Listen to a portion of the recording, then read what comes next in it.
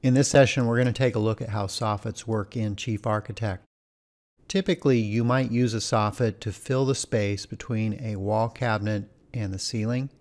You might also use a soffit to create a coffer ceiling look, or you may use a soffit in a sloped or vaulted room to make it look like a faux beam. You can use the soffit tool found underneath the cabinet tools. Over on the left hand side, you'll find the soffit tool. You can place the soffits in a 3D perspective view, in an elevation view, or in a floor plan view. As I use the soffit tool and I approach the corner of the room, notice the ghost outline, it will place a corner soffit. When I place the soffit against the back wall, it will then place it as a regular facing soffit. You might notice when I place this soffit, there is a directional arrow. You can easily see this in the ghost outline. I'll go ahead and click and place this. And when you return to the floor plan view, you will see the directional arrow in the floor plan view when you click on it. Oftentimes you want that directional arrow facing away from the wall into the center of the room. Soffits will bump and merge, and this allows them to join in an easy manner when the arrow is facing away from the wall. Soffits can easily be resized. Simply click on them, pull them out. You can also, if you're using your temporary dimensions, you can display those. You can resize them using your temporary dimension. Click on the edge as I have here, move over into the dimension, and you can type in an exact number to position that soffit exactly where you need to. Let's take a look at a few of the settings inside of the soffit dialog. You'll notice that my soffits have a certain height and a certain color. That is a default that I have set up. You can find out what your default settings are for your soffits by clicking on the cabinet tools, coming down and double clicking on the soffit tool. In the soffit dialog, you're going to notice several panels for moldings, layers, fill styles, as well as on the general panel, the sizing information and the setting for floor to top, floor to bottom, the height adjustments, as well as slope soffits. Let's take a look at this first setting with different heights.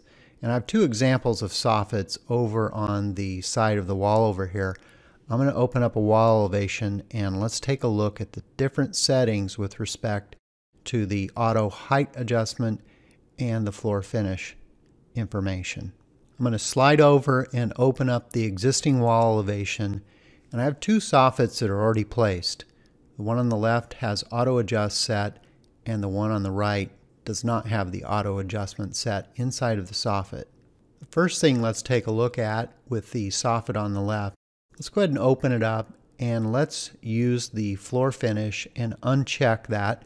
That means it's going to use the subfloor. When I make that change, you're going to see the soffit move down and use the subfloor. Depending, in this case, my subfloor is at 7 eighths of an inch, it will adjust it the typical setting out of the box for kitchen and bath designers is to use the floor finish. The next one, let me just tile my views here. Let's come up and let's tile our views here. Let's take a look at what happens if we change the room height. I'm going to double click inside the room.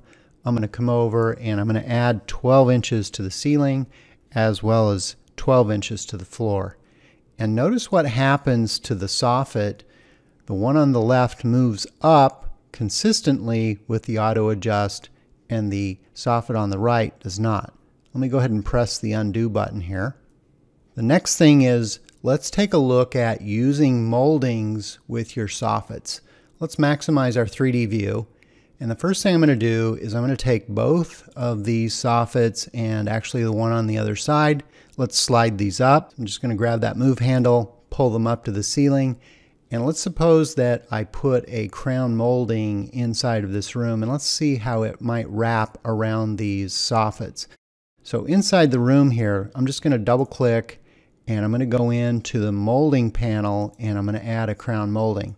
So I'm going to come over here, add new, and I'm going to come over and I'm just going to grab one of these molding profiles and let's make sure that it's large enough here that we see it. So we'll set it at six inches at the top. And once we put that molding in, you're going to notice that it automatically wraps the soffit. There's a setting inside of your soffit. Let's go ahead and open each one of these up. I'm just holding my shift key down to grab each one of them. Let's use the open button here in the left hand section of my screen. There's a setting inside of the general panel to ignore room moldings. When you change that setting, the molding no longer wraps around your soffit. Now there is another setting for your soffits that you can apply a molding to. Let's go ahead and grab one of these soffits. Let's pull it down a little bit so we can actually see this happen. Inside the soffit itself, by double clicking on it, if I come over to the molding panel, you can add new just like we did into the room. We'll browse over, we'll find a molding profile, and we'll just use the same one. You can see the molding get applied to that. I'll leave it at the default size, and then you can see that that molding is applied to your soffit.